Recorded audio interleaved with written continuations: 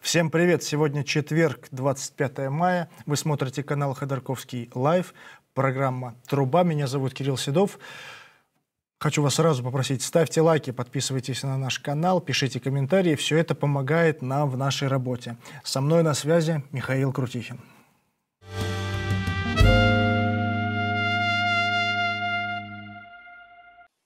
Рад вас видеть, Михаил Иванович. Добрый день. Вот одна из, наверное, главных э, нашумевших новостей на нефтяном рынке. Э, Рейтер сообщает, что власти России рассматривают возможность запрета на экспорт бензина из страны, чтобы не допустить дефицита топлива и роста цен. А Минэнерго уже ответила, они сообщили, что полного запрета не будет, но какое-то ограничение возможно. И вот здесь я у вас хотел спросить, откуда дефицит и что будет с рынком в случае ограничений? Ну, нефтяные компании российские увидели, что после введения потолка цен, после введения санкций на экспорт российской нефти и нефтепродуктов, э, э, проще, намного проще и выгоднее продавать сырую нефть, а не нефтепродукты, и стараются свою добычу по максимуму отправить морем за границу, но не на российские внутренние нефтеперерабатывающие заводы. Вот как.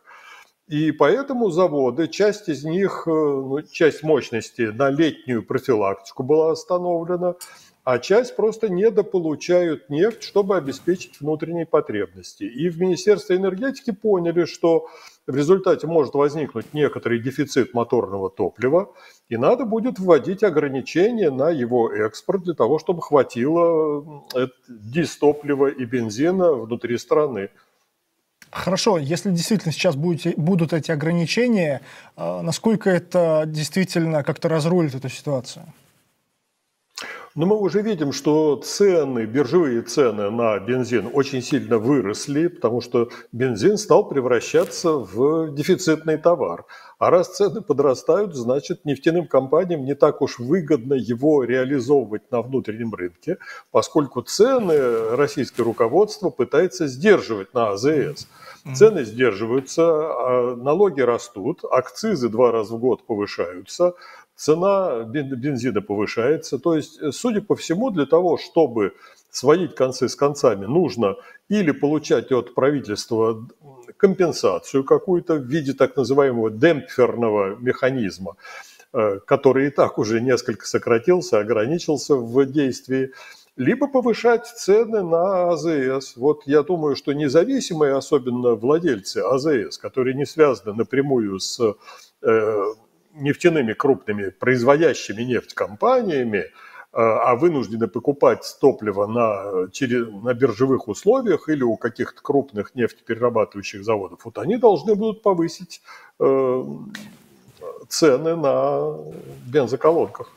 То есть сам по себе запрет на экспорт бензина и топлива, он ничего не даст, правильно я понимаю? Как-то Нет, конечно, разрешить ситуацию может только повышение цен, да? Ну, а, оно произойдет э, естественным образом. Чтобы бороться с этим, был, был придуман механизм демпфера. Угу. То есть э, э, из государственного бюджета нефтяным компаниям выделяли некую компенсацию. То есть все абсолютно российские налогоплательщики, не только пользователи автомобильным транспортом, вынуждены были компенсировать что-то нефтяным компаниям. А механизм этот чуточку под, подстрогали, э, сократили, и это не понравилось нефтяным компаниям. Но mm. вот сейчас, э, когда происходит такое, ну, гуляй рванина, то есть э, давайте-ка мы эту сырую нефть сколько можем, столько будем отправлять на экспорт, а черт с ним, с внутренним потреблением. Вот в этой ситуации, конечно, может возникнуть дефицит.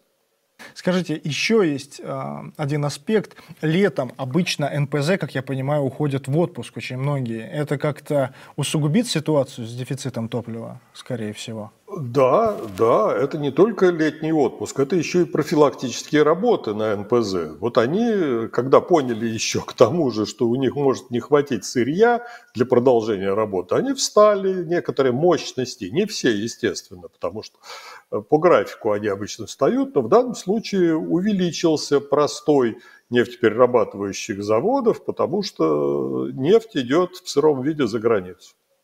Хорошо, еще переходим к важным новостям. Э, В частности, продолжаем мы сериал про Северный поток, кто же его на самом деле взорвал. Вот сейчас э, такой консорциум из польских, немецких и датских СМИ представил исследование, в котором они доказывают, э, что немецкое следствие сейчас изучает возможную причастность нескольких украинцев э, к взрыву Северного потока.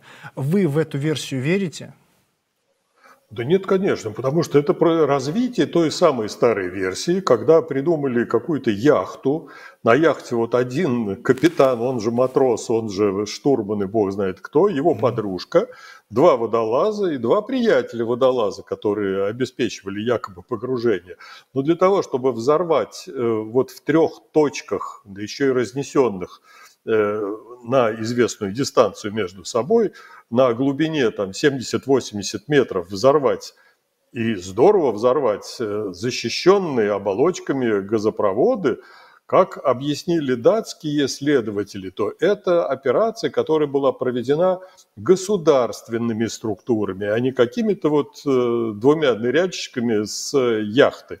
Андромеда, или как там вы придумали эту яхту, это утка очередная, которую запустили. Пока до сих пор никто ничего определенного, доказательного по поводу этих взрывов сказать не в состоянии. Ну, если это действительно утка, то кому она выгодна? Выгодна ли она Москве? Нет, ну, естественно, в Москве выгодно, потому что мы видим, что очень часто западные средства массовой информации получают откуда-то ну, данные явно подсунуты. Ну вот организованная утечка, да не утечка, а просто ну, фальшивки подсовывают. Можно сделать так, что фальшивка будет выглядеть очень убедительно, если у человека голова не работает. В последнее время я очень часто вижу и заявления крупных российских руководителей, которые адресованы не думающей аудитории, а аудитории, которая готова во все поверить.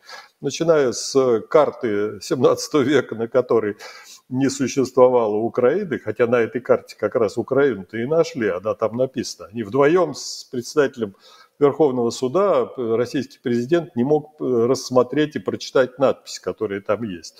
А, а вот э, Крым-то там татарский оказался, а как таковой э, Российской империи там, в общем-то, не хватало на этом Э, на, на этой карте. И э, это же не для думающих людей. Вот эти все запускаются утки и делаются идиотские высказывания. Это для аудитории, которая не способна связать причину со следствием и верит во все, что по телевизору ей говорят. Вот так же в точности эти версии запускаются в расчете на неискушенную аудиторию, на тех, кто ну, голова не работает. Вот и все. Вот как раз по поводу заявлений по телевизору Минобороны России заявила, что украинские морские беспилотники атаковали российский разведывательный корабль под названием «Иван Хурс». А, корабль был атакован в 140 километрах э, к северо-востоку от Босфора. А, и занимается этот корабль тем, что обеспечивает защиту турецкого потока и голубого потока. Украинская сторона этот инцидент пока никак не прокомментировала. Отсюда вопрос, э, выгодна ли Украине теоретическая атака на турецкий поток, как вы считаете? Ну, я думаю, что там никакого смысла в этом нет, потому что, во-первых, э, это атака не на газопроводы, это атака на военно-морское российское судно. Да, это поскольку Россия ведет войну против Украины, это совершенно легитимная цель. Да, ее нужно уничтожать тем, кто подвергся нападению. И, то есть одна из стар... защищающаяся сторона в этой войне должна была атаковать российское военное судно. А вот в то, что вот это судно, оно защищает подводные газопроводы, вот в это я уже не верю.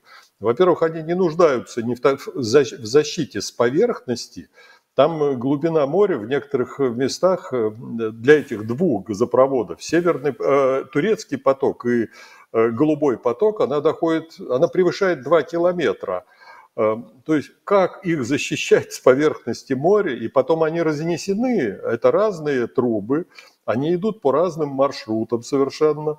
И вот это одно несчастное судно, которое должно якобы их защищать, а как и что там делать, защищать-то на всей на всей, во всей акватории Черного моря, ну, ну это глупость очередная, очередная утка. А если в теории рассматривать э, взрыв э, турецкого потока, каким-то образом он может э, улучшить положение Украины, как вы считаете? Вот сейчас ну, Турция пер, что... перестает получать российский газ. Что-то меняется для Украины? Ну, во-первых, Турция получает российский газ и по второму газопроводу, там не одна нитка это голубой поток, уже давно работающий. Э, во-вторых, э, турецкий поток – это тоже две нитки. По одной нитке получает Турция газ, ну где-то примерно 16 миллиардов кубометров в год. А вторая нитка, она идет до болгарской границы, где начинается так называемый Балканский поток. И этот Балканский поток, там два главных клиента – это Венгрия и Сербия. Немножко по этому же маршруту получают Греция и Северная Македония, но главным образом там вот Венгрия и Сербия сидят. Но если прервется прокачка через э, турецкий поток, да, будут проблемы у Венгрии. И Венгрия, кстати, в этом прекрасно, она э, понимает, что надежды только на одну Россию, это, этой надежды явно недостаточно, тем более «Газпром» показал себя ненадежным поставщиком, способным по политическим причинам прекратить поставки, что мы уже много раз наблюдали. И Венгрия уже ищет других поставщиков, собирается заключить контракт с, э, с поставщиками э, сжиженного природного газа из Катара, и поэтому ну да, какой-то перебой в снабжении вот этих двух стран, Сербии и Венгрии, может случиться. Но, но я, я не верю в то, что там кому-то интересно и кому-то выгодно взрывать эти э, газопроводы на дне Черного моря. Хорошо, продолжая тему Турции. Совсем скоро второй тур президентских выборов в этой стране. И вот сейчас кандидат в президенты Турции а, Кемаль Кылычдароглу сделал любопытное, на мой взгляд, заявление а, по поводу как раз проекта газового хаба Турции с Россией. Он сообщил, что этот проект, если он будет реализован, он усилит зависимость Турции от э, российского газа. И вот здесь необходим ваш комментарий, Михаил Иванович. Скажите, это такая предвыборная риторика, простительная э, кандидату в президенты Турции, либо действительно есть какая-то зависимость Турции от российского газа, которая непременно усугубится, если газовый э, хаб будет построен? Ну, уже как-то нехорошая э, традиция стала. Я все время опровергаю какие-то вот утки или просто заявления, которые делаются в разгар э, предвыборной кампании и так далее. Ну, что такое хаб? Хаб Турции был нужен как э, приманка для Путина. Вот э, давайте мы вам построим ваш долгожданный хаб на территории Турции, заявил Эрдоган фактически Путину, а вы нам за это, во-первых, отложите э, плату за российский газ до 2024 года, а во-вторых, еще сделайте хорошую, там чуть ли не 25%, еще одну скидку по цене российского газа. И тогда у вас будет хаб. А что такое хаб? Хаб – это торговая площадка, на которой э, газ, поступающий из нескольких источников, распределяется по нескольким направлениям. А, Турция уже ну, превратилась фактически в технический хаб. Туда поступает газ из России, это первое, самые большие, э, самые большие объемы газа, из Азербайджана, из Ирана че, э, иранский газ и отчасти туркменский газ, который иранцы получают, потом перепродают. Затем Турция получает довольно много сжиженного природного газа и расширяет свои мощности по его импорту. Есть надежда у Турции получить газ, ну, правда, призрачная пока надежда, из Восточного Средиземноморья, там, где его добывает Израиль на шельфе Средиземного моря. Э, так что у Турции сразу несколько источников получения газа, и дальше она может его распределять. Ну, во-первых, она через болгарскую границу может распределять его. Вот недавно совершенно открылся маршрут, в котором «Газпром» не принимает никакого участия. Это маршрут развернули газопровод, который поставлял в Турцию российский газ через Украину, Молдову, Румынию и Болгарию. Вот этот трансбалканский э, газопровод, его развернули, и он сейчас совершенно спокойно работает в направлении Румынии. Дальше он может технически поставлять газ э, для украинских и молдавских потребителей, и он дальше идет в сторону Венгрии и Сербии. Э, «Газпром» там никак не участвует. Единственная вот небольшая доля «Газпрома» в выходе газа из Турции – это вот та самая нитка, которая подходит к болгарской границе, где начинается Балканский поток болгарский. Это 16 миллиардов кубометров в год. Больше России там рассчитывать не на что. И поэтому считать, что вот э, каким-то образом российский газ в этом хабе сыграет какую-то важную роль, но нет там планов увеличения прокачки российского газа в направлении Европы через Турцию. Это первое. А второе, хаб – это торговая площадка. В Турции торговую площадку для Евросоюза никто создавать не собирается, и европейцы еще в 2014 году, в декабре, объявили, что хаб за пределами Евросоюза для Евросоюза не имеет никакого смысла, значения, и никто не будет им пользоваться. Поэтому хаб, вот это, ну, ну, это мечта российского президента, на которой очень хорошо сыграл э, президент турецкий. Продолжая тему газа из России в Европу, Венгрия, которая, как известно, тормозит принятие многих санкций ЕС в отношении России и вообще выступает последним таким союзником э, Владимира Путина в Европе. И вот эта самая Венгрия сейчас ведет переговоры с Катаром о газовых контрактах долгосрочных. Об этом сообщает Bloomberg. Как это можно прокомментировать? Такой нож в спину Владимиру Путину и Кремлю от Венгрии? Что ну, не устраивает Венгрия? Ну, когда у нас говорят, вот Венгрия вот такой вот союзник э, Путина, что она срывает санкции, а там одно условие принятия этих санкций у Венгрии. Знаете что, вы, пожалуйста, там э, в России наш один банк, который вы записали в пособнике российского терроризма, из этого списка уберите, и тогда мы согласимся вот со всем набором, так называемым одиннадцатым набором санкций. То есть там все гораздо проще. Что касается э, диверсификации поставок газа в Венгрию, то ну, это логично объясняется. Они только-только, вот сейчас венгры заявили, что вы посмотрите, мы на 50% наше энергоснабжение зависит от России. Это много, мы хотим разнообразить. И поэтому начаты переговоры, во-первых, с теми компаниями, которые могут газ из Катара поставлять. А в Европе это довольно просто, потому что можно получать этот газ э, от э, трейдеров на многих терминалах, а затем внутри Европы трейдеры его распределяют и доставляют в любую европейскую страну. Там, там уже сейчас при наличии интерконнекторов между странами mm. все становится гораздо проще. И поэтому это нормальное поведение руководителя страны, которая не хочет зависеть от монопольного поставщика. Все правильно делают. Переходим к теме нефти. Про газ уже, наверное, достаточно. В Вене 4 июня состоится встреча членов ОПЕК+. В связи с этим событием а, министр энергетики Саудовской Аравии, наследный принц Абдулазиз бин Салман, сделал очень любопытное заявление. А, он написал, что заявил, что трейдерам, которые играют на понижение, стоит поостеречься перед новым, э, новой встречей ОПЕК+. И вот сейчас позволю себе цитату. «Как и на любом рынке, спекулянты никуда не денутся, но я предупреждаю их, что они будут хныкать. Они уже хныкали в апреле, ну, когда ОПЕК заявил о сокращении добычи. Я не должен раскрывать свои карты, я не игрок в покер, но я просто скажу, что им лучше поостеречься». Конец цитаты.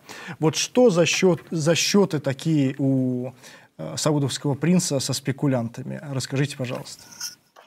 Но это давнее соперничество. Был вот э, не так давно, примерно до 2020 года, период, когда цену нефти на рынке в основном определяли не э, нефтедобывающие государства, не ОПЕК, не какие-то союзники ОПЕК, а игроки бумажную нефть. То есть на финансовом рынке торговались и торгуются по-прежнему разные деривативы.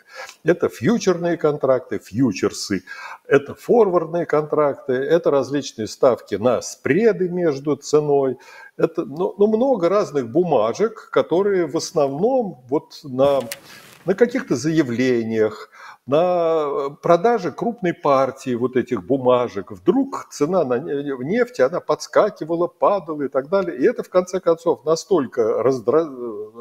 стало раздражать ОПЕК и других Э, участников этого рынка с физическими объемами нефти, что они вот начиная с 2020 года стали очень активно себя проявлять.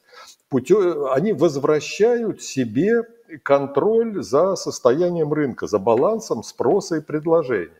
Если они чувствуют, что э, нефти становится больше, чем способен мир поглотить, то они сокращают добычу. Не для того, чтобы цена взлетела – да, это побочное явление для этого, на рынке так и происходит.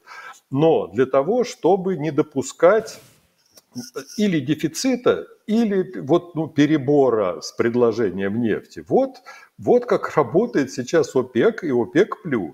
И заявление принца Абдель-Азиза, оно как раз свидетельствует о том, что вот он это прекрасно понимает и предупреждает спекулянтов на финансовом рынке, что рычаги манипуляции, рычаги воздействия на рынок, они в руках тех, кто нефть добывает. Вот эти страны могут увеличить, могут сократить добычу, могут оставить свои, свои квоты на добычу на прежнем уровне.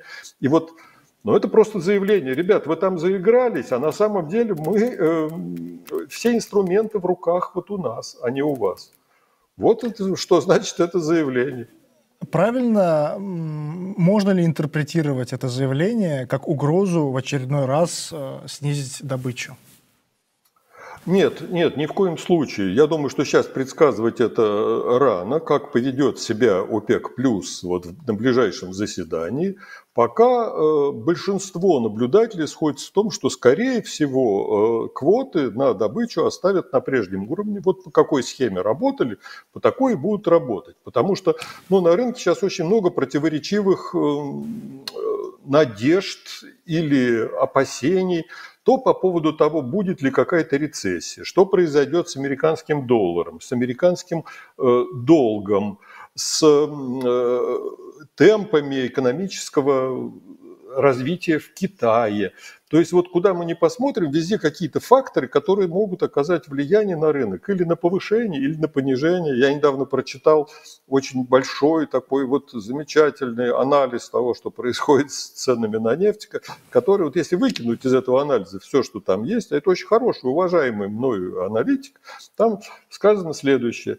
Э, нефть может подорожать, но, но может и подешеветь. Вот все.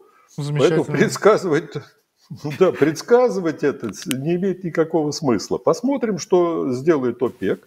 Они, я думаю, постараются эм, не раскачивать лодку, не нарушать, ну вот сейчас относительная стабильность на рынке наблюдается. Потому что есть неизвестные факторы. В Соединенных Штатах могут начать эм, массированную скупку нефти для пополнения своих стратегических резервов. Резервы очень здорово опустошились в результате вот, ну, а, активности Соединенных Штатов по поддержанию рынка. Э, вот что сейчас произойдет, опять никто предсказывать совершенно не может, но э, в ОПЕК, насколько я знаю, за ситуацией следят очень и очень пристально, и, в принципе, те главные актеры вот в, этой, в этом альянсе, то есть Саудовская Аравия, ее партнеры по Персидскому заливу, они способны и повысить добычу, и сократить добычу, даже без решения ОПЕК и ОПЕК+. Вот вы говорите, что рычаги воздействия на ситуацию на рынке находятся в руках ОПЕК, ну там в частности Саудовской Аравии. Как поменялась эта ситуация с возникновением вот этого огромного рынка такой серой российской нефти? Это дополнительный рычаг воздействие на там, спекулянтов в том числе, или это мешает Саудовской Аравии? Эм, это воздействие, ну, э, объемы российской нефти на глобальном рынке, они не сильно выросли. То есть вот э, добыча российской нефти, да, даже немножко сократилась. Потому что мере, э, измеряется ну, как бы воздействие нефти, добываемой в конкретной стране, объемами добычи, а не объемами экспорта. Почему? Потому что, ну хорошо, вы добыли нефть, вы часть ее экспортировали, но часть, она была переработана и использована внутри данной страны. Поэтому, а по добыче Россия не увеличивает добычу. Да, она несколько нарастила объемы экспорта, но на общее вот состояние рынка, потребления и предложения, вот это увеличение, оно практически никакого воздействия не оказало. Наоборот, мы видим, что в России э, сокращается добыча нефти. Пообещали сократить чуть ли не на э, полмиллиона баррелей в сутки. На самом деле ну, пытаются подсчитать, но поскольку в России сейчас засекретили всю статистику по нефтяной отрасли, насколько вот упала добыча, подсчитать сейчас невозможно. Кто-то говорит, она вообще не сократилась, потому что объемы экспорта остались прежними. А с другой стороны, мы видим, что внутреннее потребление сократилось, поскольку нефтеперерабатывающие заводы эту нефть не получают для переработки. Поэтому, ну, Россия примерно, вот сколько она может э, нефти добывать, вот столько она сейчас добывает. И э, быстро отреагировать на какое-то изменение политики ОПЕК+, взять, нарастить быстренько добычу или сократить быстро добычу, Россия сейчас не в состоянии. Вот идет активная эксплуатация тех промыслов, которые сейчас, которые давно введены уже в эксплуатацию, и вот они работают на Э, на то, чтобы выбрасывать э, на поверхность как можно больше нефти вот в нынешних обстоятельствах. И э, вот увеличение экспорта России на общий мировой баланс ну, ну никак не складывается. Надо смотреть на сокращение добычи, а не на увеличение экспорта. Продолжая тему Ближнего Востока, еще одна интересная новость.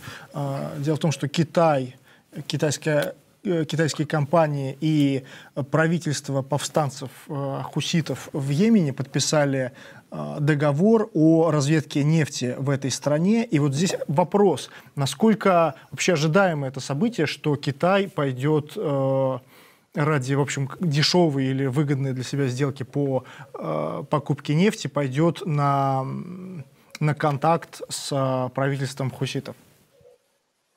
Ну, а я не вижу здесь никаких проблем.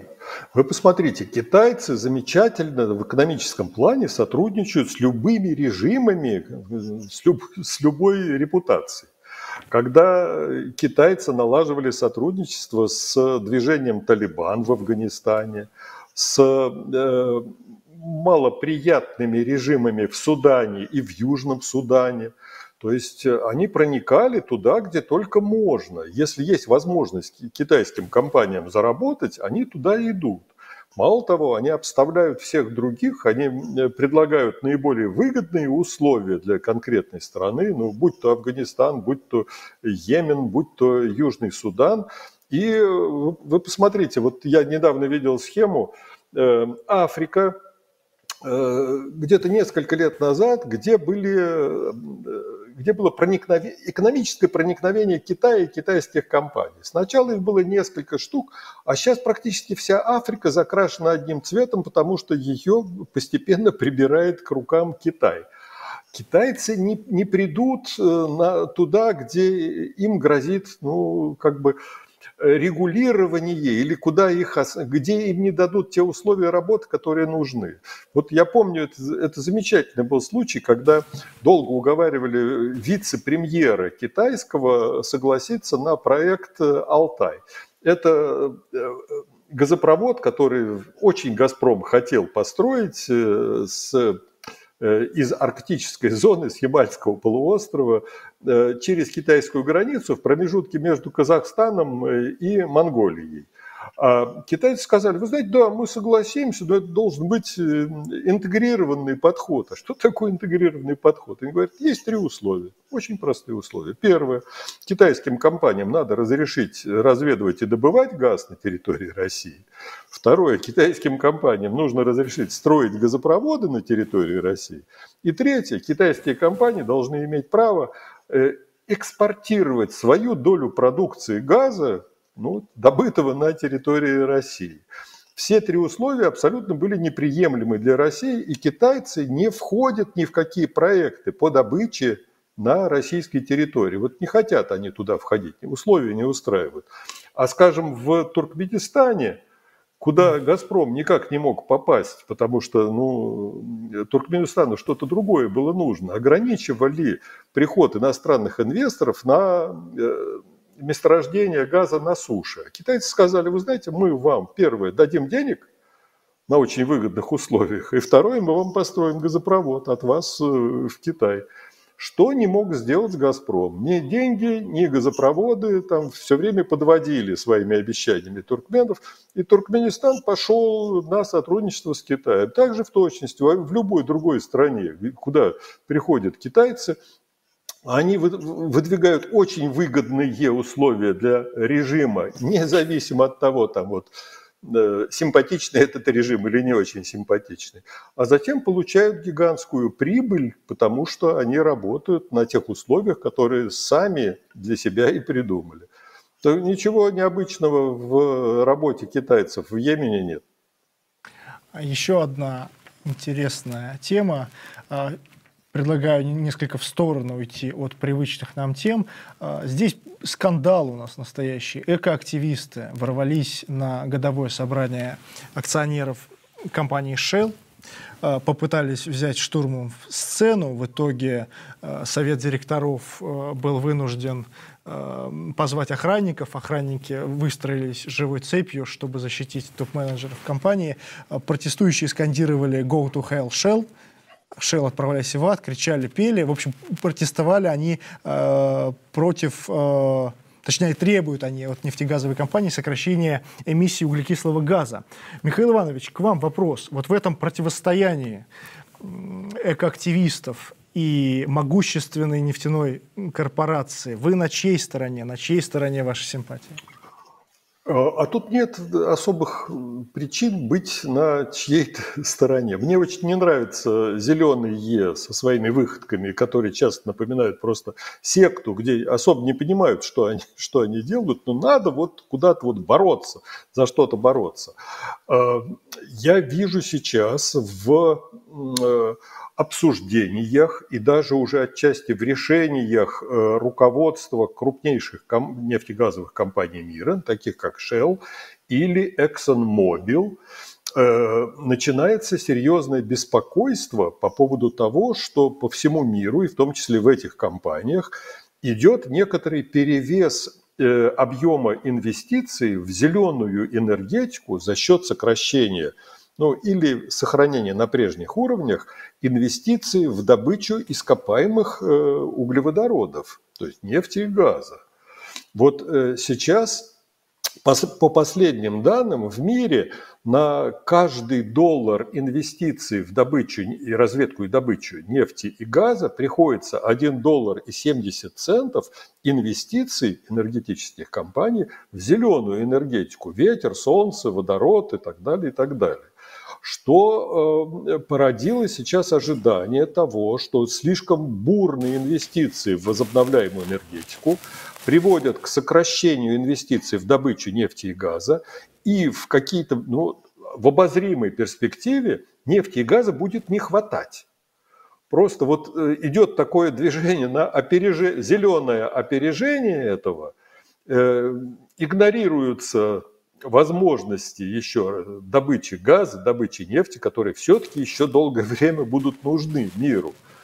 И эти две компании, они стали, не просто стали задумываться, а стали ставить перед э, своими советами директоров задачу, давайте-ка мы предотвратим, возможно, вот такой дефицит будущий, и больше будем вкладывать в ископаемые энергоносители.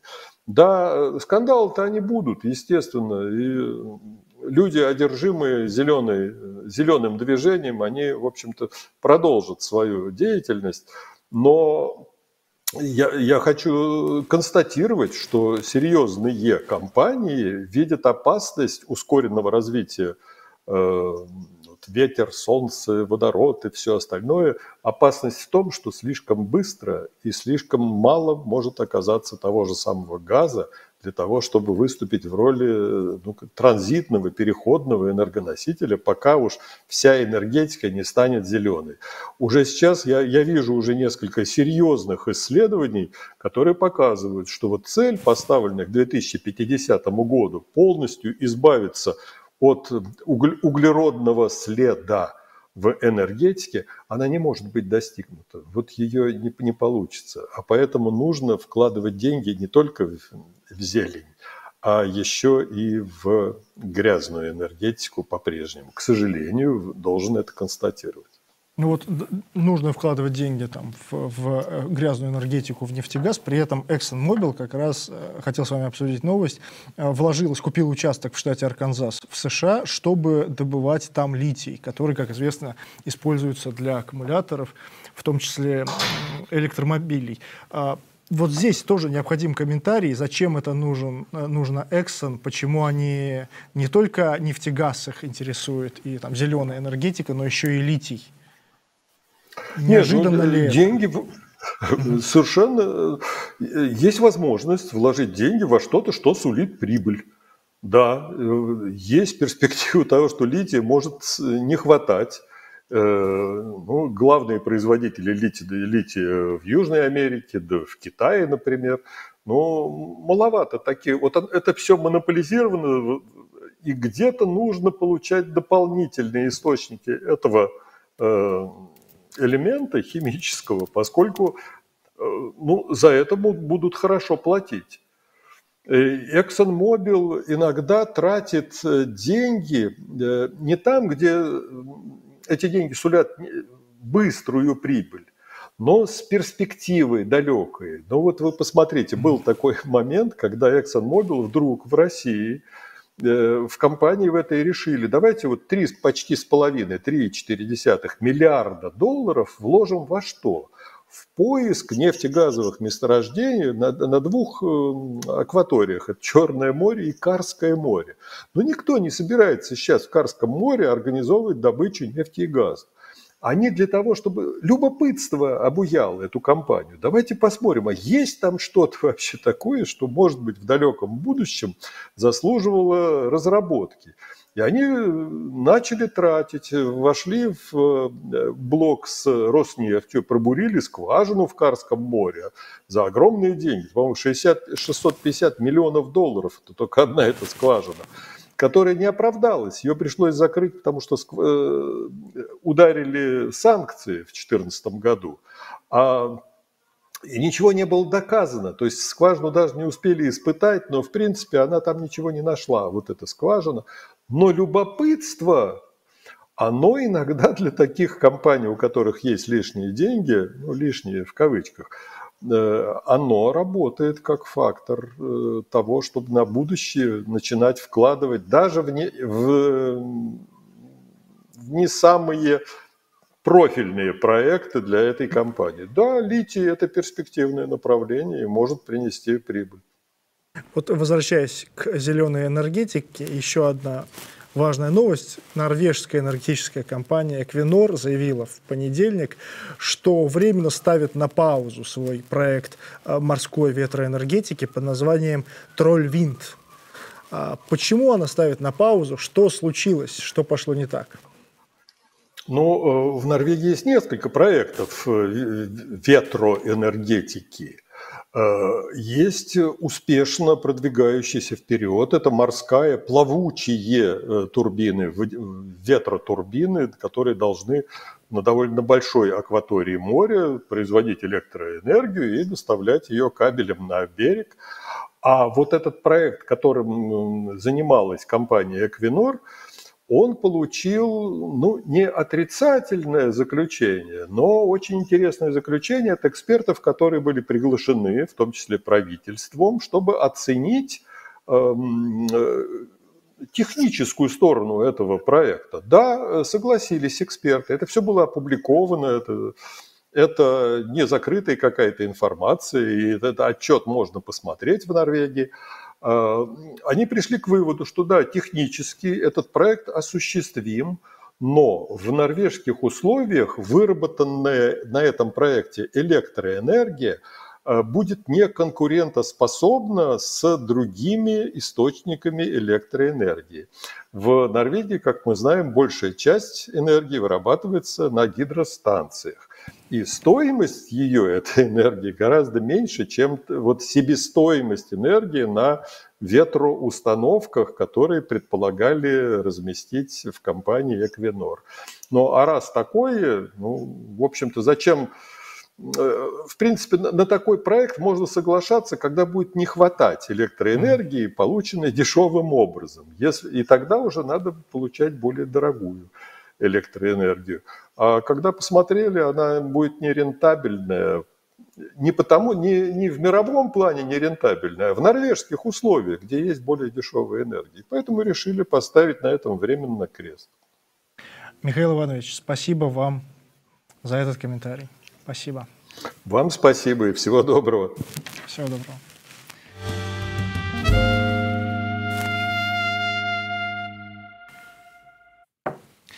Это был Михаил Иванович Крутихин. Это была программа «Труба» на канале «Ходорковский лайф». Меня зовут Кирилл Седов. Ставьте лайки, подписывайтесь на канал, пишите комментарии. Увидимся. thank you